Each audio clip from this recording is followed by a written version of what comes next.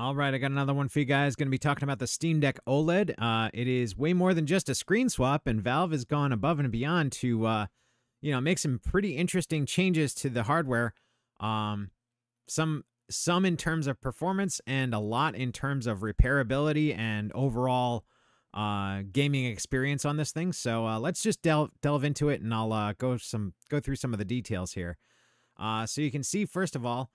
Uh, the APU is now 6 nanometer for better efficiency. The memory is now 6400 megatransfers a second, improving latency and power management.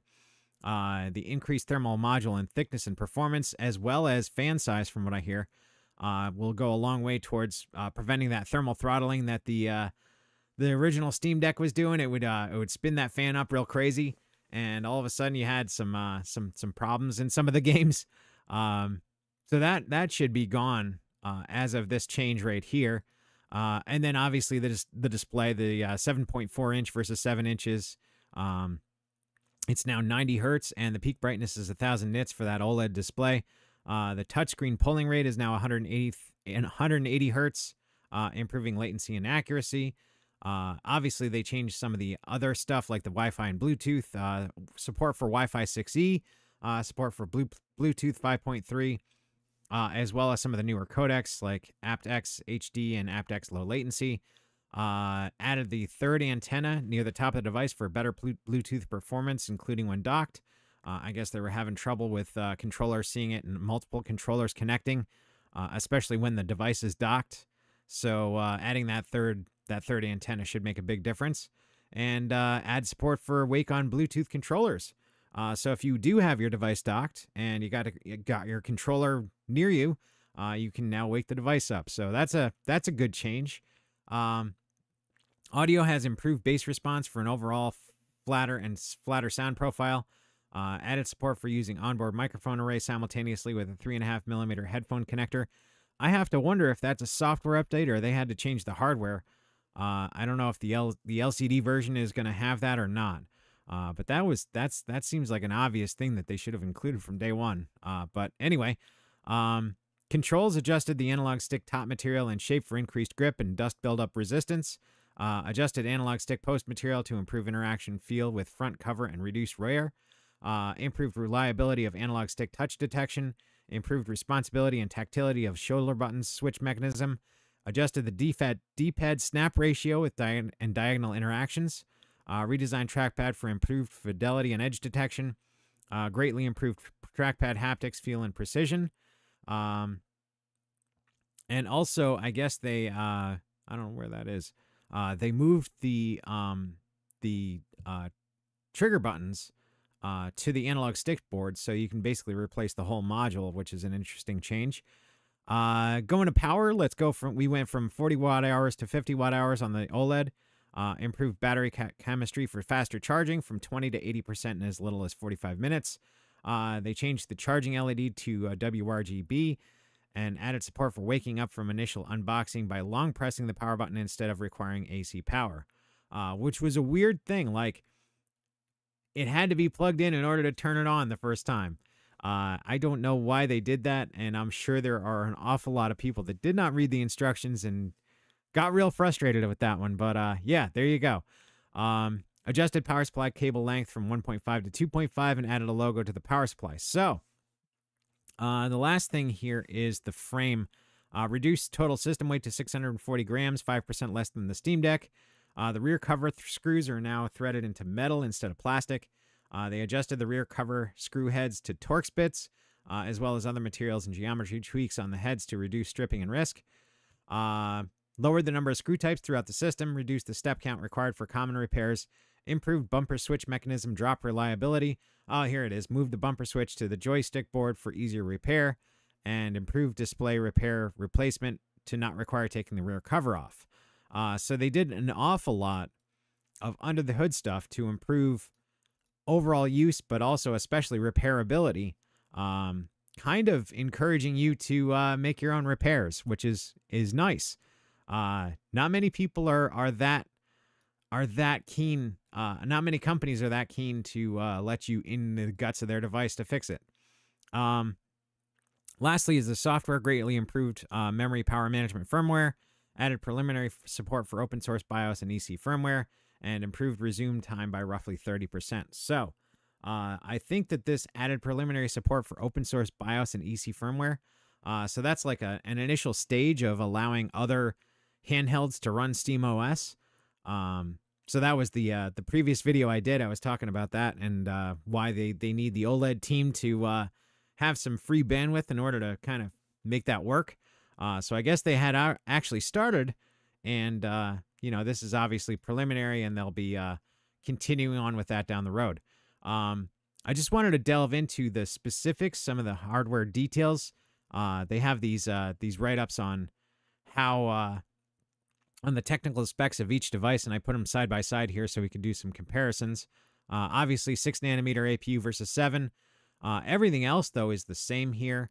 Um, in addition to the, the, the memory is the same 16 gigs uh, LPDDR5. Uh, the only difference is that 6400 megatransfers uh, as opposed to 5500. Um, obviously, the storage has changed. Uh, the OLED has 512 gigs and a terabyte, and the old uh, LCD uh, was sold as 64, 256, and 512. And um, you know these are going to be basically the the 64 and the 512 are effectively going away uh, where the LCD is still going to remain on the 256 gig. Um, so I guess that's uh, that's going to be while supplies last. You can still get these lower lower and higher LCD models. Uh, aside from that, I mean, effectively the controls are all essentially the same. Obviously, the display is different, and uh, we can get into that a little bit. Um, obviously, HDR OLED versus the LCD. Uh, same resolution. Uh, it's much brighter at 1,000 nits versus 400. Um, obviously the uh, the refresh rate is 90 versus 60, and uh, pretty much everything else is more or less the same. Uh, uh presumably a faster response time, a greater color gamut because of the HDR, and uh, a greater contrast ratio because of the HDR as well. Um, but yeah, this this display is far superior to the old one, and from what I hear, it is it is like one of the best displays you can get on a handheld at this time. aside from that, Obviously, the ambient light sensor is the same.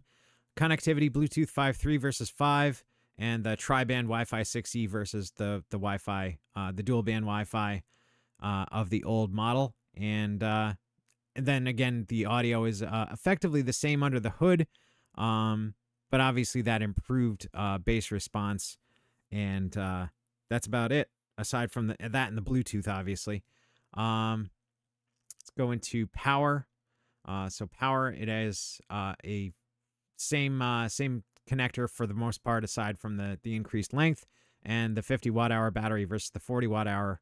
And uh, from what they've they've said, three to 12 hours of gameplay versus that two to eight.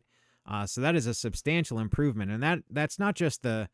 I mean, obviously that's the the watt hours going up by 10, uh, but also the, all the other performance improvements that they've made. The uh, the the lower nanometer uh, makes a big difference on power consumption, uh, as well as some software tweaks that they did under the hood that kind of allow you to stretch your gaming time out much much further. Uh, so there's uh, there's a an improvement to the uh, the frame rate limiter, and that can dramatically change the amount of battery life you have. so if you start using that, that's a that's a highly recommended feature in the software. Um, so yeah, that's that's probably how they're getting that 12 hours is uh, using that that frame rate limiting tech uh, in SteamOS. Uh, aside from that, it's effectively the same stuff under the hood. Beyond that, um, you know, USB C up to 8K 60 hertz or 4K 120 hertz. uh, USB uh, 3 Gen 2. Um, USB C with DisplayPort 1.4. Alt mode support up to 8K 60 hertz. uh, 4K uh, 120 hertz. So that's effectively the same. Uh, same micro SD slot. Uh, aside from that, you know, everything else is pretty much the same. So uh, that is pretty much all the the details on the hardware changes. Um, let me know what you guys think about this. I mean, obviously, it's way more than just a screen swap. And uh, you know, are you guys going to be interested in buying the uh, the OLED? Do you uh, do you have an LCD and you're going to swap up to the OLED, or uh, or are you going to continue on with the LCD? I mean, I kind of think I'm going to continue on with the LCD uh, just because it's a better target for uh, game development. And I mean, I don't, I don't, I more test my games on it than uh, I actually play games on it these days. Uh, so it's actually a better target for me to target that LCD so that I can have something that works well on both platforms as opposed to just the OLED. Uh, and I would imagine that that's going to be the case for other developers as well. So if you do have an LCD, I, I can't imagine devs not targeting it for at least another couple of years until the Steam Deck 2 is out. Um, so you're probably good on that front for quite some time. Uh, and I actually think that's that's the route I'm going to go is stick with the LCD.